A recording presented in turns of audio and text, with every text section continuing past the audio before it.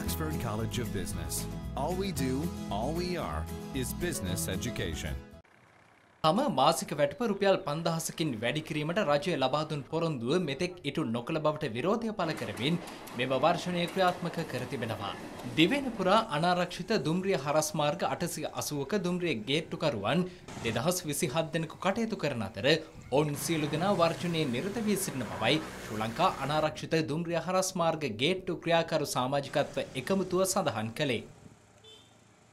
ඉල්ලීම් කීපයක් අපි ඉල්ලලා තියෙනවා. මේ නමුත් මේ එකකටවත් අද වෙද්දී කිසිම ප්‍රතිචාරයක් හම්බෙලා නැහැ. අප්‍රේල් මාසයේ අපි කළ වැඩ වර්ජනයේ අවස්ථාවේදී ප්‍රවාහන නියෝජ්‍ය ඇමති විසින් අපට දුන් පොරොන්දුව මේ මොහොත වෙනකොට එය කඩවුණු පොරොන්දුව අපට පත්වලා තියෙනවා. ඒ නිසා අපි අද දින සිට අපේ ප්‍රශ්න වලට පිළිතුරු ලැබෙන තාක්කල් අපි අකණ්ඩ මේ වැඩ වර්ජන දියත් කරනවා. ඒ නිසා ලංකාවේ සිටින සියලුම ගේට්ටු මුරකරුණු 2061 දෙනාම මේ මොහොත වෙනකොට මේ වෘත්තීය ක්‍රියාමාර්ග අපි ඉදිරියේ සිටිනවා. මේ කාලය තුල යම් අනුතුරක් වුණොත් ප්‍රවාහන ඇමති එහි සියලුම බැරපණ දරන්න ඕන මෙම වර්ෂණය හේතුවෙන් තම ජීවිත අනතුරට ලක් පැති බවයි මගින් සහ රියදුරන් චෝදනා කරන්නේ.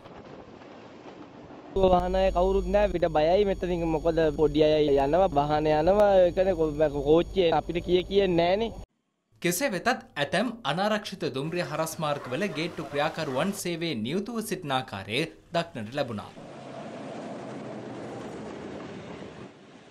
අපි නම් වැඩ වර්ජන කරන්නේ නැහැ. අපි මිනිස්සු මරන්නම් මේව කන්නේ අපේ රාජකාරිය අපි කරනවා අද 500 වුණත් කමන්නේ අපිට. තම මාසික වැටුප රුපියල් 5000කින් වැඩි කිරීමට රජය ලබා දුන් පොරොන්දුව මෙතෙක් ඉටු නොකළ බවට ශ්‍රී ලංකා අනාරක්ෂිත දුම්රිය හරස් මාර්ග ගේට්ටු ක්‍රියාකරු සමාජිකත්ව එකමුතු ආරම්භ කළ මෙම වර්ෂණය පිළිබඳව ප්‍රවාහන නියෝජ්‍ය අමාත්‍ය අශෝක් අබේසිංහ මහතාගෙන් අද දෙරණ විමසීමක් කළා. එහිදී ඔහු පැවසුවේ අදාළ වැටුප් වැඩි කිරීමට මහා භාණ්ඩාගාරයෙන් ඉල්ලීමක් කර ඇතත් මෙතෙක් ඊට නිසි ප්‍රතිචාර ලැබී නොමැති බවයි.